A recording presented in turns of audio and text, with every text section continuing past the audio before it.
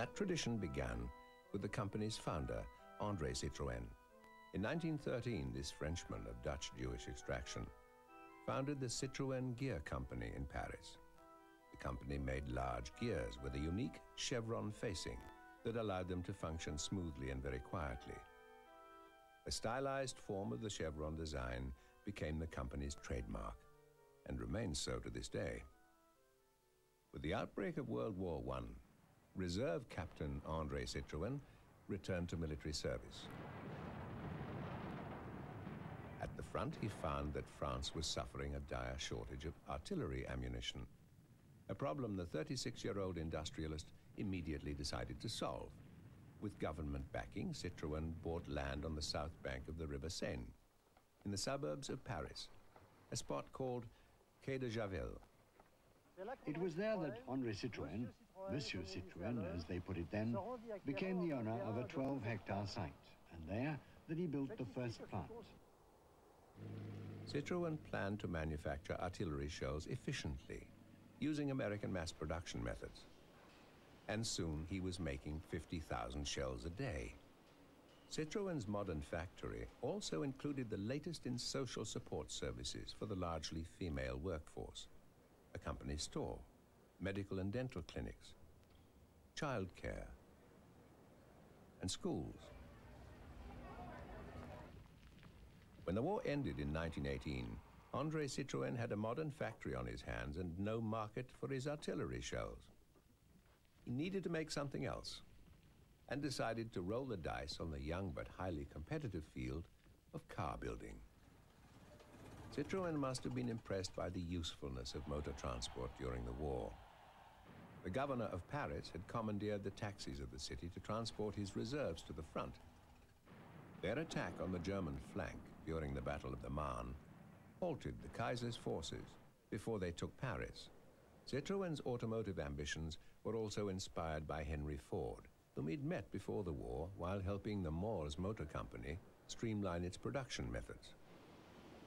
Ford's assembly line system for making the Model T fitted closely with Citroën's ideas about efficient production and mass market sales.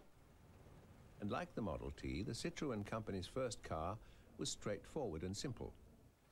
Introduced in 1919, the Type A was Europe's first mass-produced automobile. At half the price of the competition, it was also the first inexpensive French car to be sold as standard with basic accessories spare tire, bonnet, and with an electric starter and lights. Its 1.3 litre four-cylinder engine could maintain a respectable 40 miles an hour and got excellent gas mileage, 38 miles to the gallon.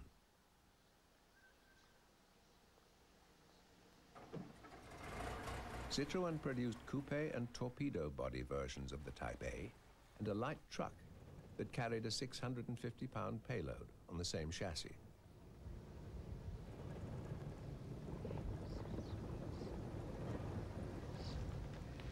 Two years later, Citroën replaced the Type A with a more powerful B2. This is a B2 which came out in 1921. The spare wheel is in back, whereas previously it had been on the side. The bonnet slopes down more steeply and has ventilation louvers on the sides. The B2 also had a larger engine than the Type A, which gave it a top speed of 45 miles an hour. It was later equipped with this saloon body. The speed and reliability of the B2 made it a favorite among physicians and earned it the nickname Coupe Docteur. The B2 was also the basis for Europe's first sports car developed from a production model. The Caddy was a lighter, more powerful version of the B2. It had the same 1.4-litre engine block as the base model, but the light alloy pistons gave it more power and a top speed of 56 miles an hour. In 1922, Citroën announced a new, smaller car, the 5CV. CV for chevaux, meaning horses, and a reference to the taxable portion of the car's horsepower. Offered in two-seat and later three-seat cloverleaf configurations, most 5CVs were painted yellow which soon gave rise to the nickname Petit Citron, the Little Lemon. With a tiny 850cc engine, the 5CV was not exactly a powerhouse. It was capable only of 36 miles an hour, and once it was going, it proved difficult to stop. But the Petit Citron was so reliable and economical that it sold like lemonade, particularly amongst women, making it Europe's first car for Madame. When he stated that he intended to build 100 cars a day, many detractors said it was impossible. By 1924, he was making 300. 300 a day. The sharply climbing popularity of Citroën's cars was due to André Citroën's genius for marketing, as much as the quality of the cars themselves. The company pioneered discount and credit sales.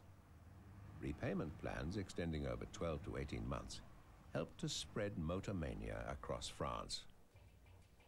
André Citroën also became an adept exponent of the publicity stunt. In 1922, a group of five half-track B2s became the first cars to cross the Sahara Desert. Over the next 10 years, there were two more transcontinental crossings using Citroën half-tracks. Croisière Noire, or Black Cruise, in the mid-1920s traversed Africa from north to south. 16 men and 8 Citroën half-tracks struggled for six months to cross more than 12,000 miles of Central Africa. Citroën later mounted an even more hazardous expedition, the Yellow Cruise across Asia in the early 30s. 40 men and 14 half-tracks trekked from Beirut over the Himalayas, across the Gobi Desert, and through China in the middle of a revolution.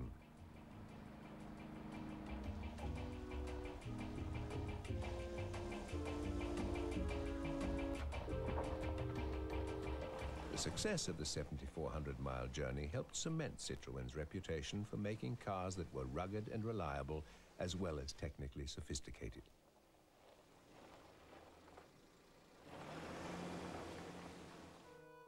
Citroën worked hard to keep his name always in the mind of the French car buying public. At the opening of the 1922 Paris Motor Show, Citroën had his name skywritten three miles long over the city and he contributed more than 150,000 road signs mounted all over the country, each bearing his name. But perhaps his most famous billboard was the Eiffel Tower. A quarter of a million electric light bulbs illuminated the Citroën name in letters 30 yards high for nine years, starting in 1925.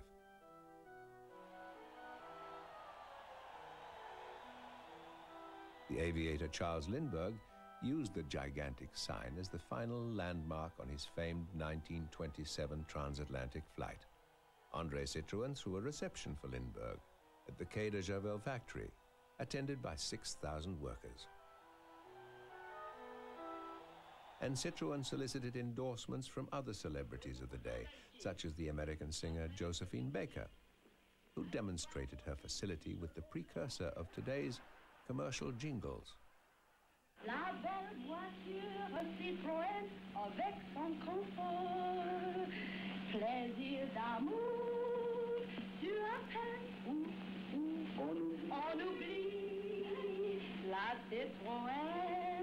dure toute la vie. Citroën also took steps to ensure that the whole family knew his name, down to its youngest members. The result was a line of toy Citroën cars and the Citroënette, a children's pedal car model of the 5CV. The company even sponsored Citroënette races at seaside resorts and later made an electrically powered version as well.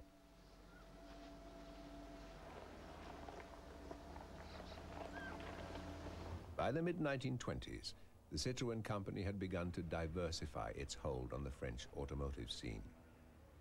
It set up high-speed intercity bus routes and started its own taxi fleet. Along with Renault and Peugeot, Citroën was now one of the largest car makers in the country. But if Andre Citroën was to expand his company further, he knew that he'd have to take greater risks.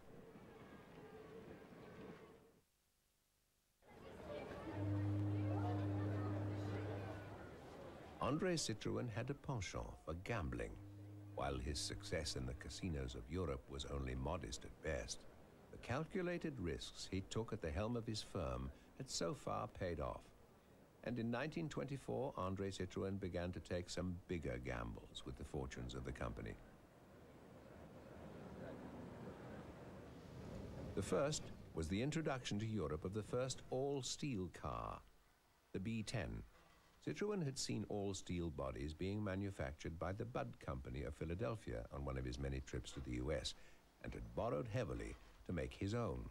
Though the market for a mass-produced all-steel car was unproven, Andre Citroën adapted the B2 chassis and mechanics to carry the new pressed steel saloon body. But the B2 chassis was found to be too light for the heavier shell. In 1925, the B10 was replaced by the more robust B12. The gamble paid off. The all-steel line was a huge success, quickly emulated by Fiat, Morris Motors in England, and soon all the other mass-production car makers. In 1926, the B line reached maturity with the introduction of the B14. It came standard with a larger 1.5-litre engine, a modern electrical system, and a slightly longer chassis permitting the addition of a small boot. The next year, the B14 got power-assisted four-wheel brakes and a new designation, the B14G. By this point, Citroën production was up to 400 cars a day, and the models were evolving at a furious pace. Only two years after it was introduced, the B14, though successful, was replaced by a whole new type. This is a C4. Originally known as the AC4, Andre Citroën four cylinders. It was built in 1928 and can be identified by its new radiator, its new bonnet, its new scuttle, and the improved streamlining of its wings. The company later offered a light van version, the C4 Commercial, aimed at farmers and small businesses. Citroën also introduced his first six-cylinder car in 1928, the C6. Reminiscent of a big American car, the C6 had a 2.4-litre side valve engine, producing 45 horsepower and capable of 65 miles an hour. The company sold 11,000 of these before it offered an even bigger, better equipped